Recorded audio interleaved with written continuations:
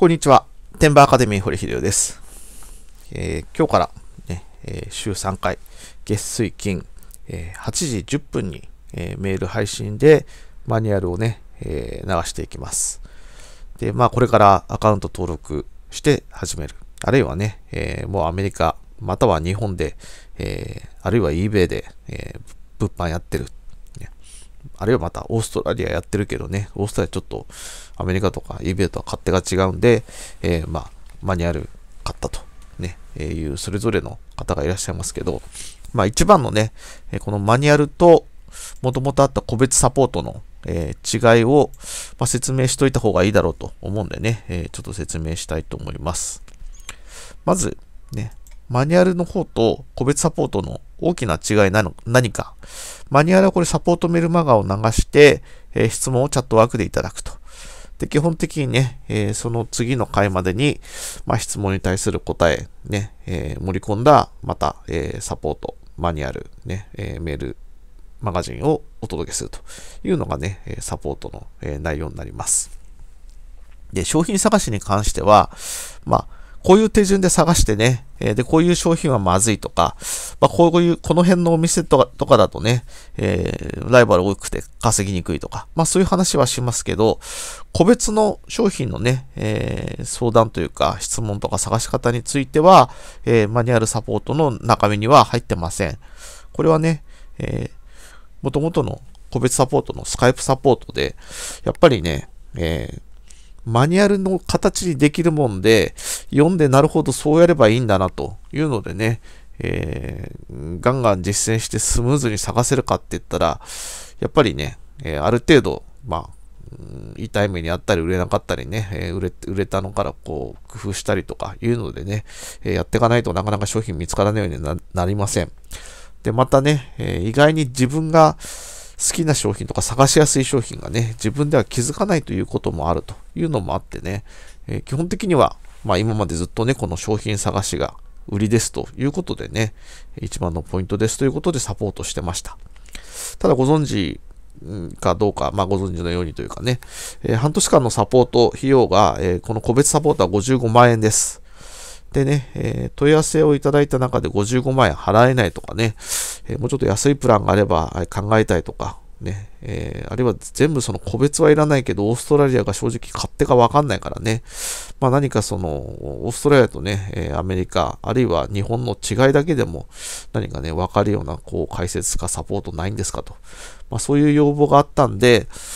まあそれはね、オーストラリアってのやってみないとわかんないってとこ多分にあるんで、えー、じゃあやっぱり事例をね、えー、これやっちゃいけない、ね、これをやるとうまくいくという事例を増やすためにも、まあ、ちょっと間口を広げてマニュアル作ろうかなというのでね、えー、作って、個別サポートの中身から、スカイプサポートと、あと商品探しの、個別の商品探しのね、サポートを抜いてます。ですんでね、えー、お金に余裕があって、いやいや、あの、早く結果出したいとかね、あるいはその、えー、商品探しが一番やっぱ必要だという場合はね、まあ、個別サポートにアップグレードされてはいかがかなと思います。えー、アップグレードしてみようかなという方はね、えー、まず何が違うのか、どういうサポートするのか、まあ、スカイプ、まあ、無料でスカイプね、一度、えー、しますんで、まあ、それで確認して、まあ、アップグレード、えしてみてください。えアップグレード、個別サポートのね、プランの方はもう、あの、その、サポートしたら素直にそれ言ったことをやるかどうかとか、えー、いうのが非常に重要になって、それはね、逆にこちらでも確認させてもらいます。えー、それ、それがないとね、まあ、ちょっときつきついかなとね、えー、いうのがありますんで、まあ、個別サポートの場合は、えー、アップグレードの前に、まあ、無料スカイプで、え、お互いにサポート内容を確認する。私はね、えー、個別サポートをして結果出せ出せそうかどうかを確認するというね、手順を踏んでからアップグレードします。で、まあ、スカイプがつかないのと個別相談って何が違うのということなんですけど、やっぱ標準的な日本人ってね、まあ、買う、買わないを決めるとかね、なんか自分で決めるっていうのが非常にね、えー、決断が苦痛な方が多くて、まあその、どれを仕入れる、どれを仕入れないっていうのをね、えー、もうこ、ほんと個別に、じゃあこれ、これを仕入れましょうとかね、これは、これ、これ、こういう理由でパスしましょうとか、あるいはこの仕入れた商品は初めはいくらで出しましょうとか、まあそんなもんまでサポートしてますし、まあ下手するとね、えー、逆にもう、あの、初めはじゃあここ行ってこういうことをやってきてくださいと。で、それでね、えー、まあ、私が言うことをやっていただいて、えー、じゃあ、えー、条件に合致したものを仕入れましょうとか、まあ、何ですかねお、お使いみたいな形でも、初めは、え、やったりしています。ね。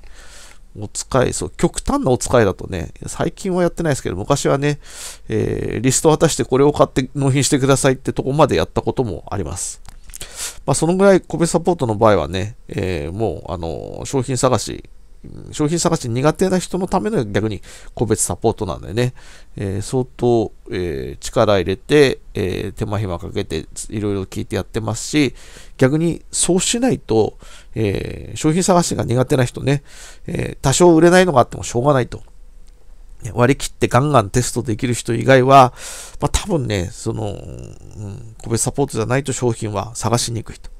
で、逆にね、もう商品は見つかってるとか、アメリカで儲けてますとか、eBay で儲けてますとか、日本でやってますって方は、まあ別にその商品をね、出して同じように探していけばいいんで、全く問題ない、まあマニュアルでも結果出していただけると思いますけど、全くの初心者で、あるいはね、オーストラリアで全然商品が見つかってないという場合は、まあ、個別サポートにアップグレードした方が近道かなというふうに思います。ただ、個別サポートのね、募集ページには書いてあるんですけど、えー、55万とね、仕入れ資金20万、合計75万が無理せず払えない人は、えー、受けないでくださいと。ね。あの、お金に切羽詰まってる人はね、えー、なんか空回りしてやっぱ成果出ないんで、まあその場合はね、え個別サポートでもとにかく早く来月から稼ぐとかっていうのはね、え対応不能なんで、まあ3ヶ月半年で、え月30万稼げるようになるのに、個別サポートの方が確実性が高い、あるいはね、個別サポートの方が良さそうだから、え個別サポートにしようかなという場合はね、えまずはご連絡ください。え無料でスカイプ相談して、まあそのままね、マニュアルサポートにとどまるもよし、ね、アップグレードした方が良さそうだなと思ったらね、アップグレードしていただければいいと思います。マニュアルサポートだと稼げないって言ってるわけじゃなくて、商品探しが苦手な場合は、えー、マニュアルサポートよりも、えー、個別サポートの方がおすすめですという話ですんでね、えー、まあ、ど、どの、どの程度のね、稼ぎをね、どのぐらいの期間で、え目指してるのか、ね、本業にするの、本業にしたくてある程度お金があるといった場合にはね、えー、逆に今、今から始めりゃそのボクシングデーに乗っかればね、個別サポートにアップグレードした費用は、えー、まず確実に回収できるでしょうから、えー、おすすめです。まあそんな形でね、サポート内容の確認と、えー、個別サポート、商品探しを中心に考えるんであれば、えー、個別サポートへのアップグレードしませんかというお話でした。以上、テンバーアカデミー、堀秀夫でした。